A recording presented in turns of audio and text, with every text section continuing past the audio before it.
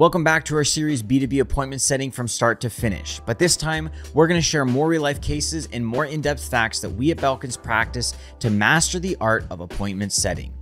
If you didn't see our last video on how appointment setting actually works, be sure to check it out first to have a complex understanding of how appointment setting approaches actually work. Link below. But for our video today, you're going to get five tips, one real life case, hear about two life changing tools, and much more. So stay with me to the end, don't forget to subscribe, and let's get into it. To break things down in more detail, over the course of our next few videos, we're going to talk about the tools we use, what things make us stand out, and our five outreach experts that bring our customers success while running appointment setting campaigns. First outreach expert up, lead generation and research specialist. So using a service like ZoomInfo or Apollo is one option, but that's not how we roll.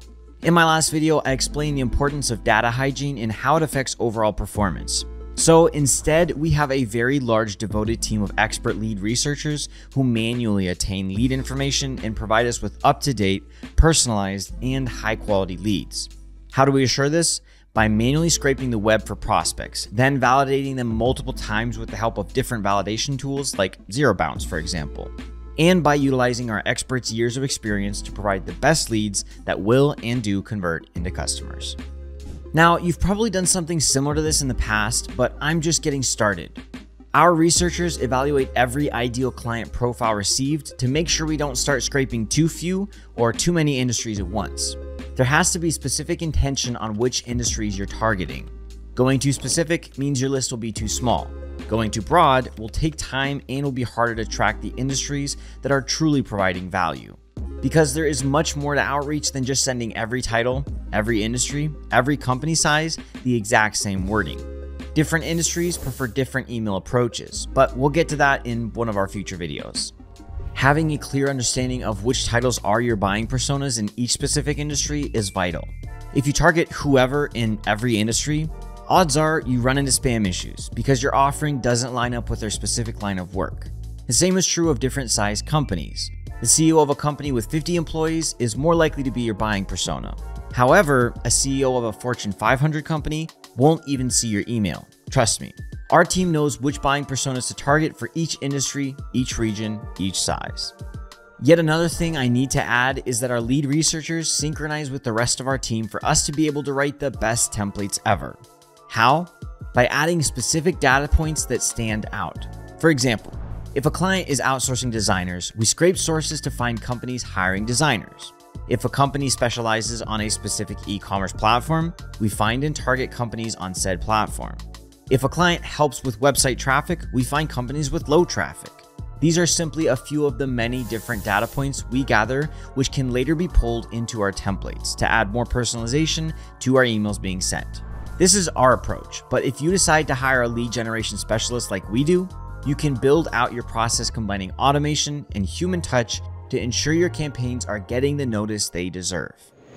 Before we get to our next section and discuss bottlenecks in depth, if you haven't already, hit that subscribe button and let us know in a comment whether you use services like ZoomInfo or Apollo, or if you have an internal lead research specialist.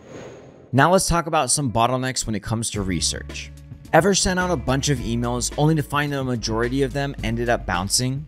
This is one of the very first things we verify through the help of different tools like Zero Bounce and others. This might seem like a tedious step, but after six years of working in the industry, we know for a fact that without this step, you cut your outreach results in half. Now, when you verify your emails, make sure that you never use the so called catch all emails when you're just starting out. Catch all are emails that get delivered from all senders, and you never actually know if an actual email recipient exists or not. It's important to exclude such emails when you send out your first batch, as it will affect your sending reputation. My advice is after you export leads from any lead platform, run an additional email check. As a matter of fact, if you want to get a very high sending reputation, then ask your lead research specialist to verify LinkedIn's and titles of the people you'll email. This way you can ensure that all the people you're emailing are still with the company. You'd be surprised, but the stats say that a lead list has a 20% data decay. So when lead platforms sell leads, you never know when the last verification was done. Another bottleneck can be a lack of understanding your TAM. If you don't know what TAM is, we have a detailed video on this topic, so feel free to follow the link below to learn even more.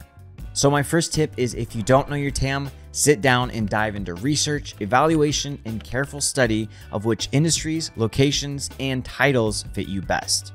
Like I've said time and time again, it's better to start with a very specific TAM, and if you're not getting the desired results, only then should you start to expand your reach.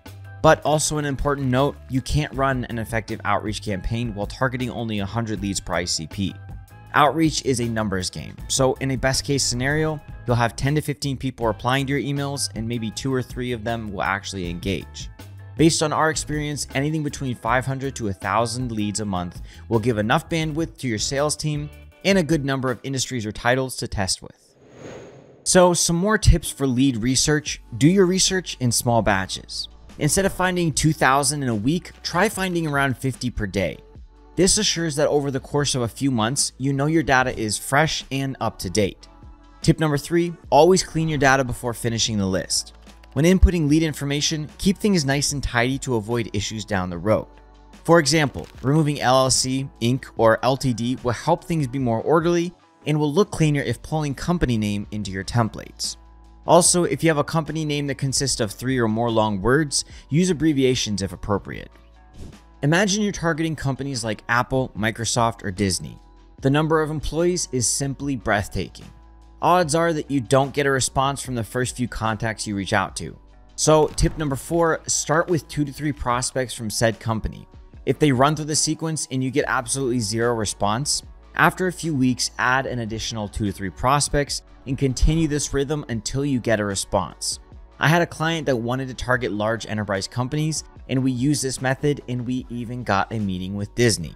Thanks to us having gone through around 20 prospects from that company over the course of a few months. So, from firsthand experience, I can honestly say it does work. On the other hand, if you want to rush things and add 20 Disney contacts during month one, go ahead, but you'll probably get flagged since their IT has a system in place detecting and blocking spammers. So to not be a spammer, send two to three personalized emails at a time. If you've watched this far and you're enjoying the video, hit the like and subscribe button and let me know in a comment which of the tips I gave you work best for your business. My last tip regarding lead research, be flexible with your ICP and listen to experts with experience in this line of work. I can't count the number of times I checked an ICP with my team in the past, and my researchers came up with additional industries, titles, etc., that just made so much sense and ended up actually bringing in even more appointments than the original ICP. So, in regards to research, let's summarize. Understand and test your TAM. Always check your leads for bounces. Research leads in small batches to ensure validity. Keep your lead database clean and tidy, and don't add more than two to three leads per company into an active sequence simultaneously to avoid spam. Speaking of spam, as mentioned in my previous videos, if you're like Belkins and you run cold email campaigns, then knowing how to get your emails delivered is one of the most important parts of the process. Yes, tools like Folderly do exist to take care of this, but with any product, there are nuances. And in our company, we hire and train so called email deliverability experts to help with the most unique cases. Stay tuned for our next video where we break down email deliverability in detail. If you're interested in learning more about email deliverability in the meantime, check out our how to video on this topic, link below. But an even more detailed video on this topic is coming very, very soon. Don't forget to subscribe, turn on notifications, and if you want to grow your pipeline or need assistance with outreach, schedule a free consultation with us by following the link in the description box below. Till next time.